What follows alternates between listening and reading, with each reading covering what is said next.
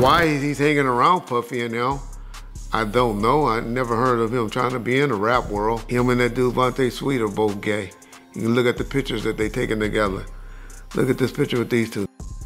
Those niggas are zesty. You know that he would hire these like workers and like they would have you know with her or whatever and he would watch and tell them what to do. But I'm sure they're gonna be shutting up Little Rod real soon.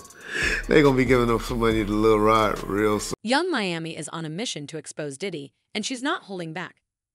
Every time we think this drama couldn't possibly escalate further, a new bombshell drops. Now, Yung Miami is alleging that Cuba Gooding Jr. helped Diddy orchestrate his wild escapades.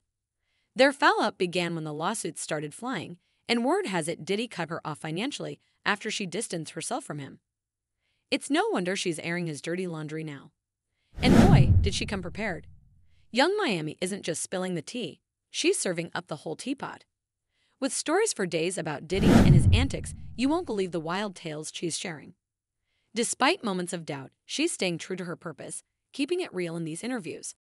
Diddy's legal troubles have been piling up, with lawsuits emerging from all directions. And who's been by his side through it all? Yung Miami. But now, it seems she's turning the tables, dishing out juicy gossip about Diddy's celebrity shenanigans. Brace yourselves, because she's dropping names you wouldn't expect to be involved, like Cuba Gooding Jr. I want to actually speak out and actually Since Cassie filed the first lawsuit against him last November, Diddy's been in hot water. Then, three more women came forward with allegations, followed by Lil Rod, a producer on his last album, Love Off the Grid, who made some shocking accusations of his own. This led to a raid on Diddy's properties by Homeland Security. Despite the chaos, Diddy's lawyers maintain his innocence, accusing the feds of piling on and trying to tarnish his public image. This unprecedented ambush, paired with an advanced coordinated media presence, leads to a premature rush to judgment of Mr. Combs and is nothing more than a witch hunt based on meritless accusations made in civil lawsuits. There has been no finding of criminal or civil liability with any of these allegations. Mr. Combs is innocent and will continue to fight. Every single day to clear his name, a federal officer replied to this and said, We believe that there is a disturbing history of trafficking. We are responding to concrete, detailed, explicit allegations. This is not random. We didn't choose his name out of a hat. We had allegations that we, following up on Rod, spilled the beans in the lawsuit. And according to the lawsuit, Jones lived with Diddy from September 2022 to September 2023 while they were working. On Diddy's Love album, and according to him, he saw some really crazy things during the time they lived together.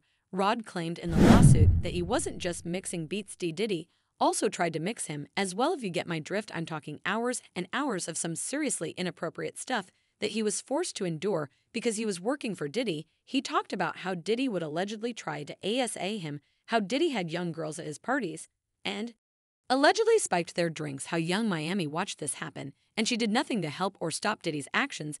Don't even get me started on how he claimed that Diddy allegedly made Yung Miami's cousin saw her, even though the cousin was luckily unsuccessful. But according to Lil Rod, the cousin was not the only one who Diddy tried to force to saw him, because he also tried to make Cuba Gooding saw him as well. Allegedly, it got to a point where Lil Rod felt like I could see with a person like Lil Rod, he probably was roughing them up, grabbing them, groping them, you know what I'm saying? Acting like he playing with him, but he actually want him to do what he want him to do. So the horseplay was his way of grooming you in a sense. Well, I don't that grooming, that's some new shit. You know what I'm saying? We didn't call that we didn't call it grooming back then. That his horseplay was a way of letting you know I could really hurt you if I wanted to. You get it? I could really hurt you. And that's what that kid probably felt. Yo, why he doing me like that? Oh, he just playing with you. No, he was letting you know if I turn this up, I could really hurt you. And that was his way of trying to get you to be submissive to him. Right. He's letting you know. He's putting in your mind. Listen here, bro. He's trying to put in his mind, we're playing now. But if I really want to turn this shit up on you, it's on. Diddy was trying to groom him and pimp her out to other men in the industry. Chill. Even Diddy's former bodyguard, Gene Deal, spoke on this drama and pretty much said the same thing. So I can see with a person like Lil Rod, he probably was roughing him up, grabbing him, groping him. You know what I'm saying, acting like he playing with him. but he actually want him to do what you want him to do, so the heart's play was his way of grooming you in a sense, well, I don't that grooming. That's some news, you know what I'm saying. We didn't call that we didn't call it grooming back then. That is horseplay was a way of letting you know I could really hurt you if I wanted to. You get it? I could really hurt you, and that's what that kid probably felt. Yo, why he doing me like that? Oh, he just playing with you. No, he was letting you know if I turn this up, I could really hurt you, and that was his way of trying to get you to be submissive to. Him right, he's letting you know he's putting in your mind. Listen here, bro. He's trying to put in his mind. We're playing now, but if I really want to turn this, underscore underscore, up on you, it's on, according to Rodney. He tried to confront Diddy about his creepy behavior, but Diddy just brushed it off, claiming it was all just horseplay. He denied any sinister intention, insisting that Rodney was reading too.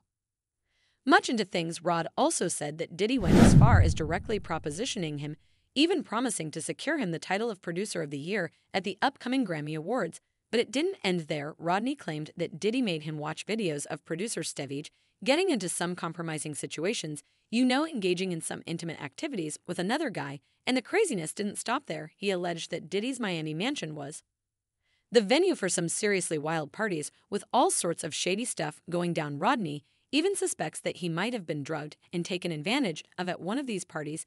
Now, I can't say for certain if it's true, but it's definitely suspicious, especially since other women who sued Diddy have made similar claims. The court documents said honor about February 2, 2023 incident. Mr. Jones believes Mr. Combs drugged him. Mr. Jones recalls waking up.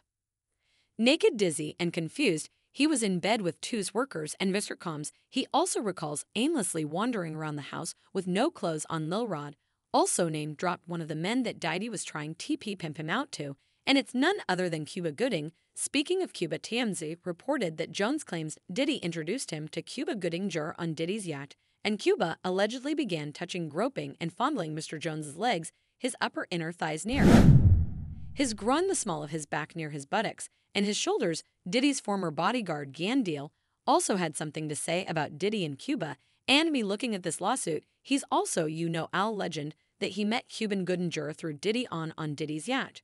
There were allegedly instances where Cuba Gooding Jr. began touching Lil Rod inappropriately, particularly on his upper inner thigh near his groin. Although Lil Rod didn't see the picture himself, others described it as questionable. Gene also hinted that Diddy may have influenced Cuba to view Lil Rod as potential prey. Now, with no photographic evidence, do you buy into Lil Rod's claims? Personally, I find them plausible, when you see two people so close, it's hard not to wonder if there's more than meets the eye. The mention of Cuba's involvement isn't surprising given his history of alleged misconduct, especially at Diddy's infamous parties. Cuba, once a celebrated Hollywood figure, saw his career decline after a series of poor decisions, turning down significant roles and facing allegations of inappropriate behavior towards women. His downfall seemed inevitable, despite his earlier success. Regarding the accusations against him, numerous women have come forward, painting a troubling picture of Cuba's behavior.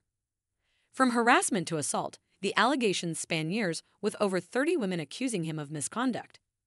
His legal battles have resulted in settlements and plea deals, tarnishing his reputation further.